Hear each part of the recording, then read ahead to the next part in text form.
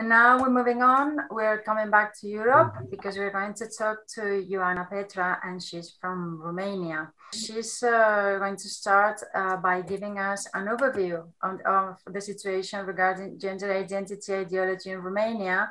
First of all, uh, I have to speak about the uh, situation of the trans trans culture in Romania. Uh, Romania is literally geographically placed in the middle of Europe and everything bad that appears somewhere else, everywhere in Europe or in the West, gets here very quickly.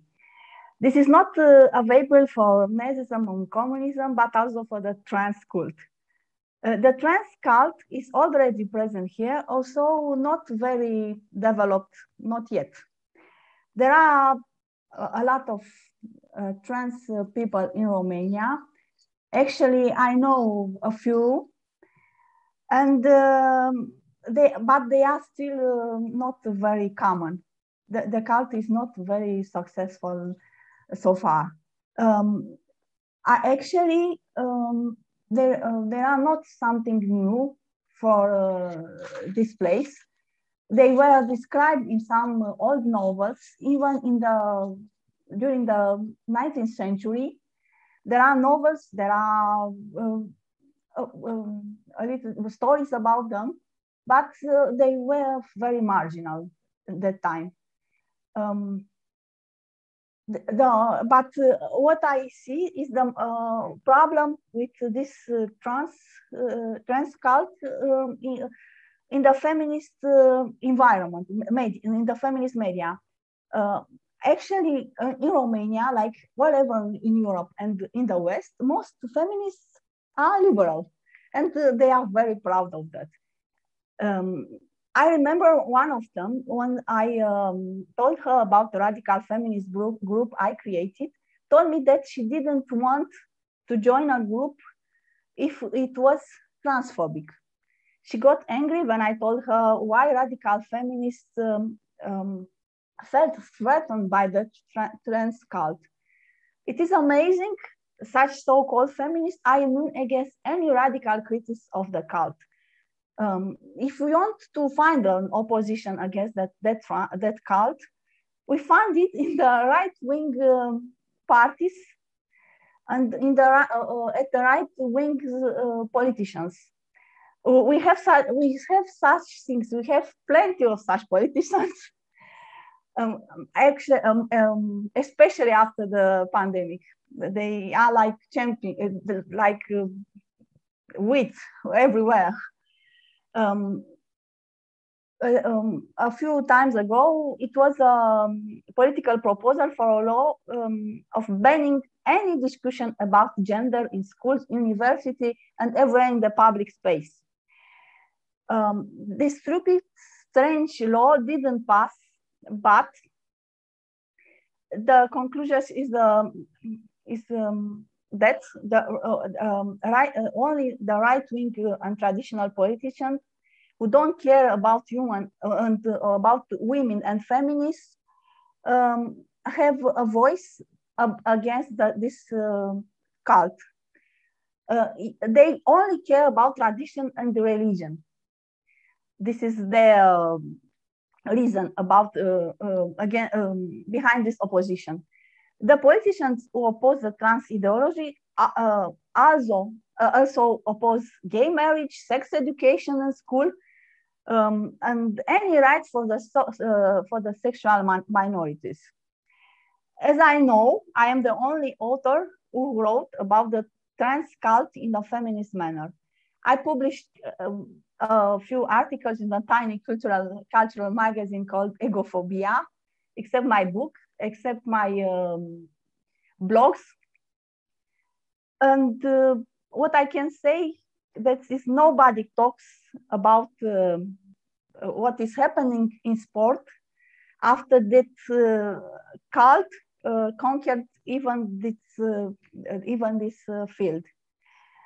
in 2002, the gold Romanian gymnast lost her medal because he was uh, ill. He was uh, treated with Nurofen, an anti-inflammatory drug, and it was uh, considered a doping. But now uh, there are a lot of uh, men who compete uh, as women and nobody cares about it. Um, I know I don't, I just wonder what uh, Dirk would have said about the situation.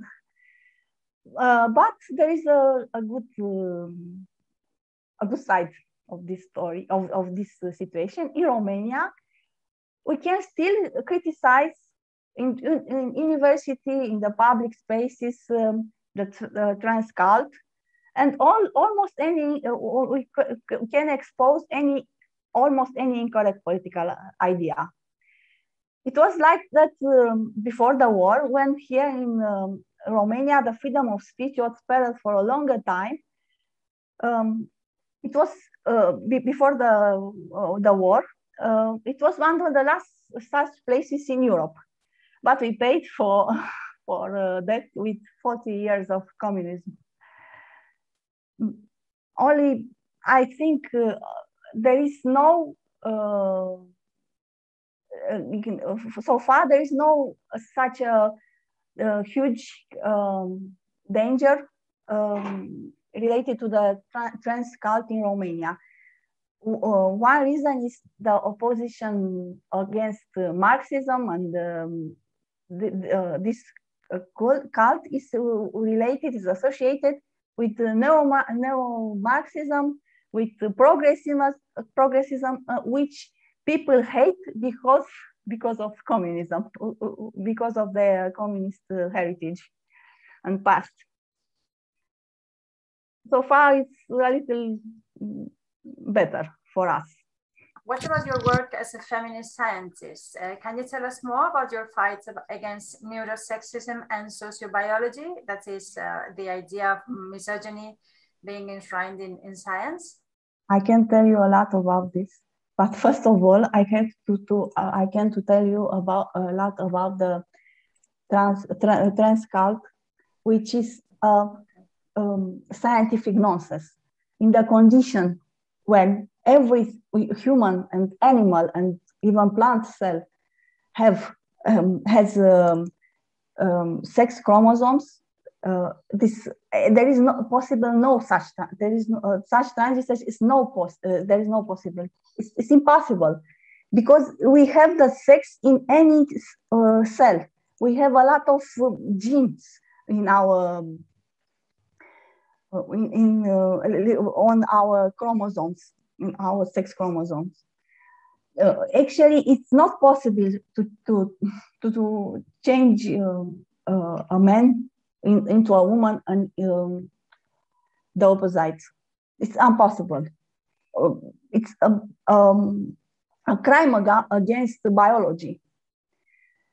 Then, uh, related to neurosexism and sociobiology, biology, I can say that the um, the gender roles are preserved uh, using um, pseudoscience.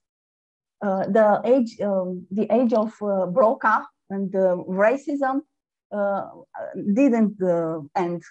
We have now we now we have a lot of um, sexism in science. We have a lot of um, um, of problem related to um, to um, sexist ideas.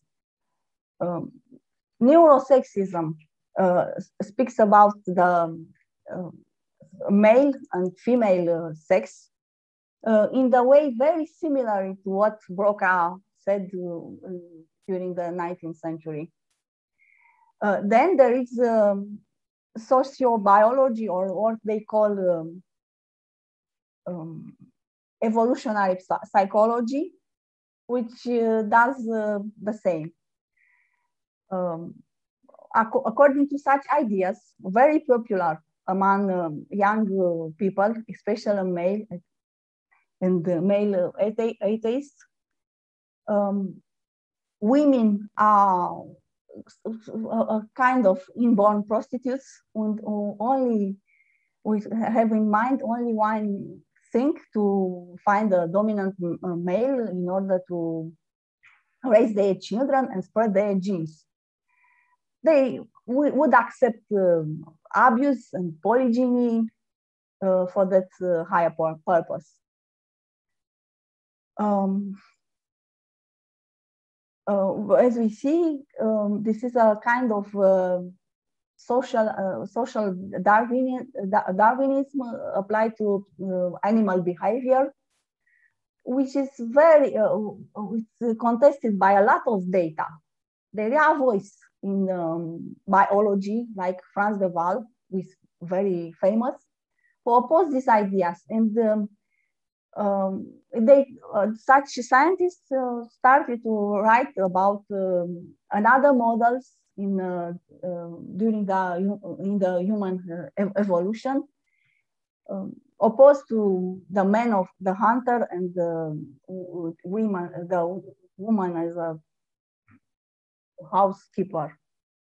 No, in, in fact, uh, in even in chimps, females hunt females uh, make more inventions. They are more creative. They get uh, ants, they make tools. Um, and um, such uh, scientists like Dawkins take patriarchy, patriarchy as granted. No, uh, during the, our, our history and uh, during uh, our evolution, females and women like now did almost everything. Um, and uh, I, I, I wrote uh, about this in my book. Uh, and in other articles, I tried to debunk uh, these uh, ideas. Okay. Uh, so, um, but now there are other voices who start to, to tell something similar with data. Yes. So now that you've got your slides on, could we go back to, uh, so you could have a couple of minutes to tell us about, about your book, 7,000 yes. Years of Patriarchy, yes, I please? Think so. This is the uh, paperback and the ebook format. Uh, and uh, my book uh, also, I, write, I wrote it uh, having in mind young girls and women and I, which I wanted to make them know a lot uh, about, a lot about uh, their situation in patriarchy. Uh, couldn't help uh, expose some scientific uh, ideas.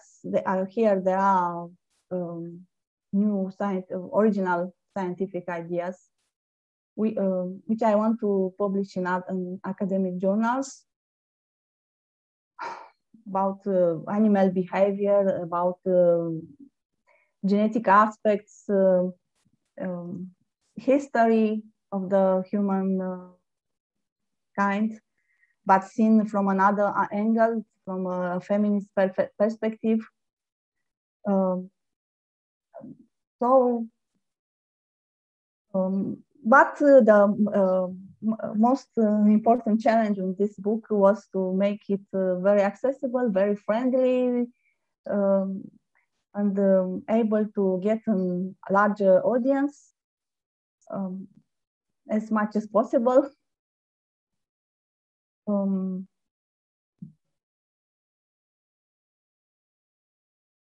I have I uh, have some daring and original analysis uh, analysis about uh,